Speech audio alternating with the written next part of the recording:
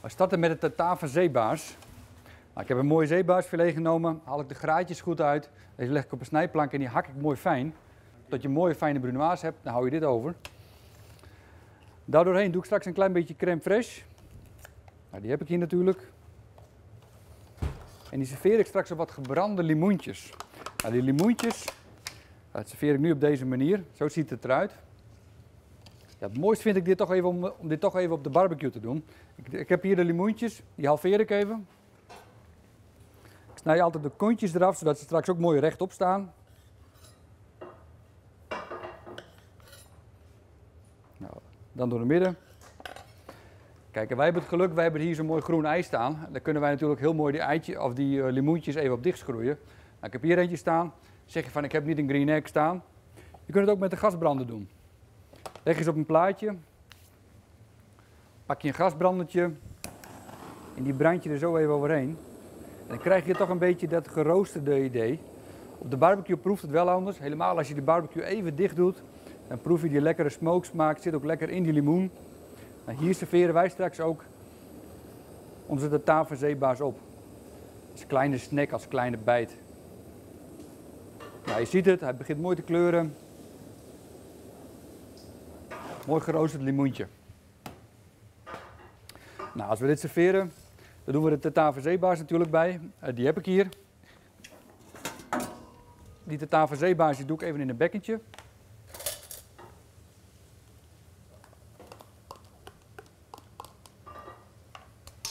Nou, dan neem ik de crème fraîche. Kan de gasten zelf bij doen.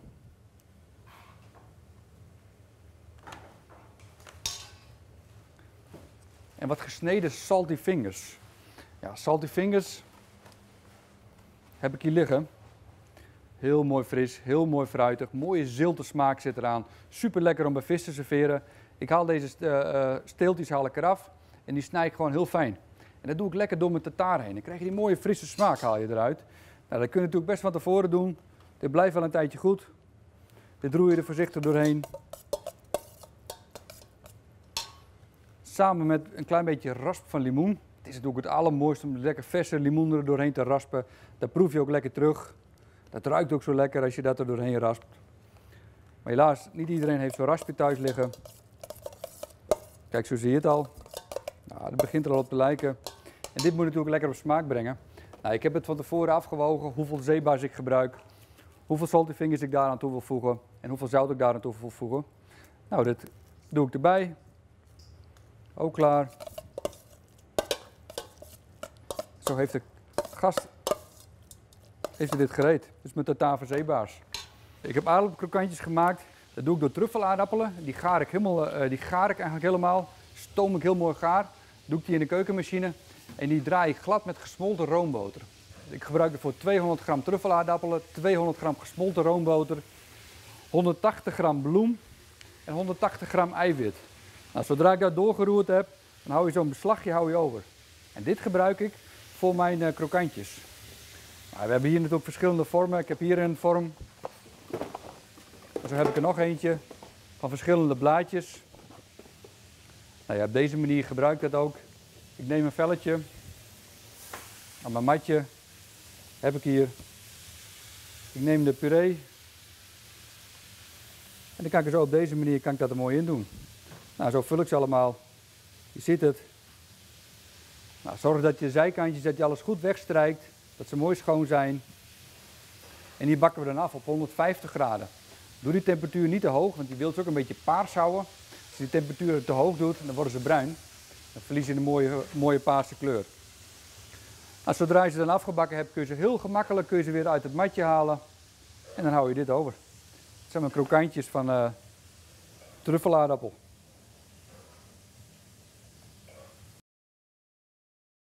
Nou, we hebben hier de limoen of van de barbecue, of lekker gebrand met een gasbrander.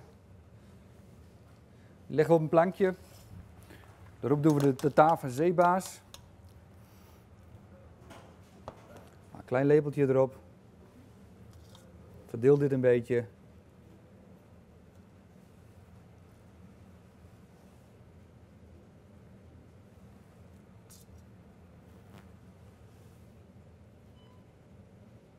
In dit geval heb ik zeebaars gebruikt. Kan natuurlijk ook zeker met andere vis.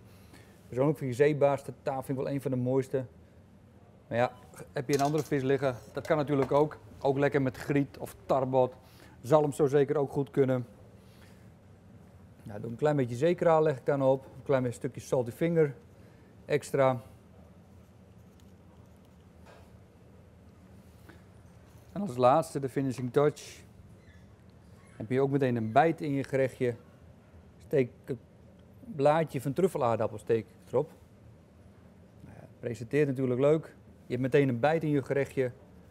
Mooie crispering. En aardappel gaat heel goed samen met die tartaar. Nou, dan is straks de bedoeling. Dit kun je zo op tafel zetten. Als sharing gerechtje natuurlijk. En de gast die kan zo een limoentje kan die oppakken. Één keer naar zijn mond brengen en dan kun je in één keer opeten. Ik had u beloofd om u wat te laten zien met kookfolie. En dat uh, rijdt misschien een beetje raar, maar toch is het wel erg leuk. Uh, mensen die normaal bij jou in het restaurant komen eten, dat is voor hun een feestje. Om dat feestje nou ook een beetje thuis door te zetten, is dit eigenlijk wel een heel leuk product. Het is namelijk inpakfolie tussen haakjes, uh.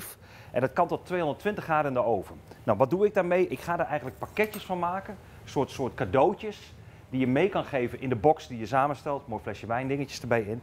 Dan gast eigenlijk thuis het alleen nog in de oven hoeft te schuiven. En dan nog een leuk geschenk heeft om uit te pakken. Dat is de achterliggende gedachte. Nou, hoe zou je dat kunnen doen? Het folie uh, snijd je op maat. En dan afhankelijk wat je zelf wil, hè, dit zijn slechts wat voorbeelden, heb ik hier wat uh, voorgewokte groenten. Dus allemaal een beetje beetgaar, dat is het mooist. Daarop doe ik in dit geval een stukje koolvis. Die koolvis die, die heeft net zijn garing wel gehad, maar kan nog iets hebben. De gas gaat hij namelijk zelf nog in de oven doen. Ik wil wel een compleet gerecht. Dus wat ik er nog op doe, is een ravioli. En deze is gevuld met gamba's. Die hebben we zo in het assortiment trouwens, dus het is wel een mooi product. Daarop doe ik nog wat gebakken gamba's. En dan doe ik de saus erop. Dat lijkt misschien raar, maar dat is geen enkel probleem. Maar dat folie houdt het helemaal bij elkaar. Ik heb nu een saus uh, gemaakt op basis van een, uh, um, een, een dus zeg maar een, vissoep. En uh, daardoorheen doe ik een heel klein beetje currypasta. Een beetje Thais smaak daaraan doen. Dus die saus die gaat er trouwens gewoon koud overheen. Wel royaal, want het is echt de bedoeling dat de gast als hij het openmaakt, dat hij een compleet pakketje heeft waar alles in zit. Nou, dat gaat erop. Dan gaan we de boel inpakken. Dus we doen de folie bij elkaar. Alsof je een cadeautje inpakt. Dan doen we daar een stukje rolladetouw omheen. Want dat is overbestendig. Wat ik meestal doe is ik leg er één knoop in.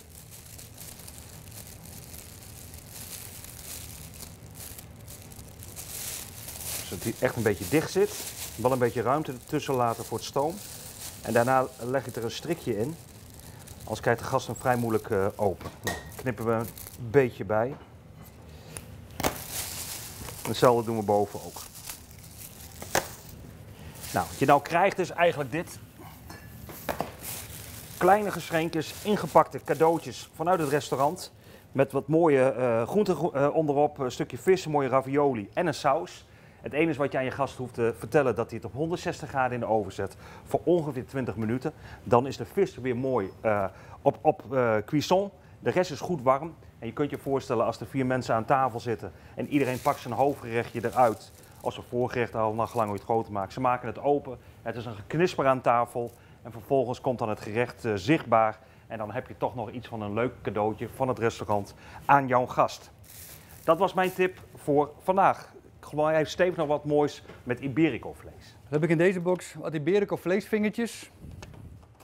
Klein beetje serondeng. Wat gefrituurde uitjes. Gemarineerde tomberry tomaatjes. En een klein beetje aardappelmoeseline met wat gepofte knoflook.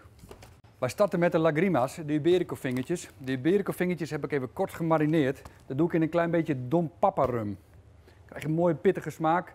Uh, Iberico vingertjes, wat is het? Het is eigenlijk het vlees wat tussen de, tussen de ribbetjes zit. In Spanje wordt die mooi uitgesneden. In Nederland doen we het eigenlijk niet, maar in Spanje wordt het mooi uitgesneden. En dan halen ze dit halen ze eruit. Dan kan ik even laten zien hoe het er ook uitziet. Kijk, het zit allemaal tussen die ribbetjes in. Dat vlees snijden ze er mooi uit. En dit is eigenlijk al super vlees. Dit is een kwestie van roosteren en het is klaar. In dit geval heb ik er wel iets anders mee gedaan. Ik vond het mooi om er toch een kleine bereiding mee te geven. Dus wat ik al zei, eerst even licht besprenkeld met een klein beetje Dom Papa rum. Uh, daarna trek ik het vacuüm. En dan trek ik het vacuüm en dan ga ik het sous garen.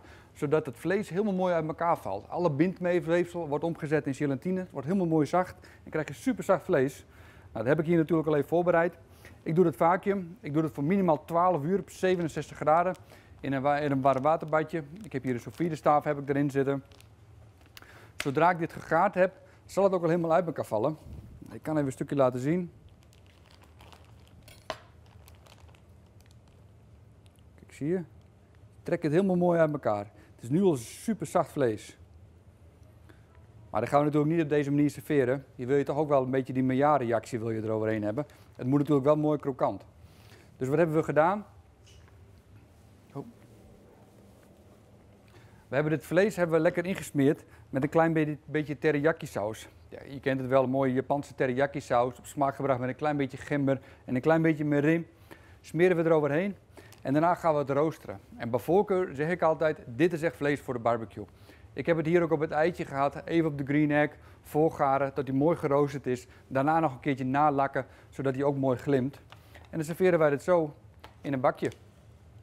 Wij zeggen tegen de klant, zet het 6 minuutjes in de oven van 200 graden en je vlees zal super mooi zijn. Het zal super mooi krokant zijn, mooi gemarineerd. Nou, hoe serveren wij dit? Wij serveren hierbij een klein beetje aardappelmousseline met wat knoflook, wat ik net al zei. Ik heb een mooie aardappelmousseline gemaakt, wat gepofte knoflook daardoorheen gedaan. Lekker doorheen gespateld, heb je super lekkere mousseline. Het enige wat de gast hoeft te doen, ik serveer het in kleine spuitzakjes. Deze spuitzakjes die kunnen zo laten vallen in een klein beetje heet water. Ik zeg altijd, doe ik in de omschrijving, leg ik dat er ook bij. Zet een pannetje water, zet het aan de kook, haal het van het vuur af, leg de aardappelmousseline erin. Laat het vijf minuutjes laat je erin zitten. Je ziet het, het is mooi vlak en na vijf minuutjes zal hij mooi warm zijn. Nou, zodra het warm is, haal je het eruit en kun je het straks op het bord spuiten. Daarbij doe ik nog een klein beetje uh, tomberry tomaatjes. Nou, tomberry tomaatjes zijn die hele kleine tomaatjes. Die verkopen wij hier op de AGF-afdeling. Vind ik zelf wel een leuk tomaatje om erbij te serveren. Maar ik serveer ze nu in een klein beetje uh, sushi een klein beetje gemarineerd. Nou, ik halveer de tomaatjes eerst wel even. Allemaal even door de midden. En neem ik een klein beetje sushi soe. Sushi azijn en dan leg ik ze in. En dan kun je gewoon in het bakje kun je erin leggen, tomaatjes erin en zo serveren wij dat erbij. Nou, daarna doen we wat gefrituurde uitjes, doen we er straks overheen. Maar de gefrituurde uitjes is het ook super lekker om zelf te maken. Ik gebruik meestal shallotjes. Shallotjes ga ik heel mooi fijn snijden, klein laagje olie in de pan en dan bakken we dat krokant. Pas op, er zit natuurlijk suikers in, verbrandt heel snel. Maar als je dit mooi krokant bakt, echt super lekker.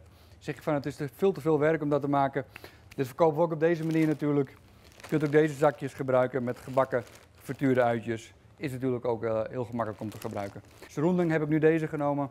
Ik doe dit bij elkaar en ik roer dit voorzichtig door. En dit schep ik straks als laatste over het gerechtje heen. Grote voorleesje en je hebt meteen een mooie bijt in je gerechtje. Een mooie knispering. En het is er super lekker bij. Super lekker bij buikspek, knoflook, klein beetje frisheid van een tomaat. Nou, de aardappeltruffelmousseline is warm. Puntjes snijden we er even af. Zo kan de klant dit heel gemakkelijk zo op bord spuiten. Dit komt ook niet zo precies. Dan neem je die iberico vingertjes. Nou, je ziet het al, het is mooi gelakt. En mooi krokant. Nou, die steken we er zo tussen. In dit geval lekker drie serveren.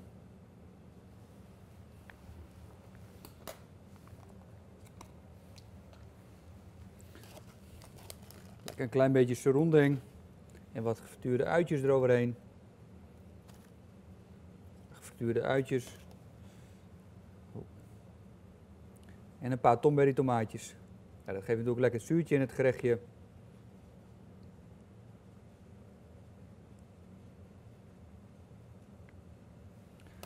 Zo serveren wij onze Iberico vingers.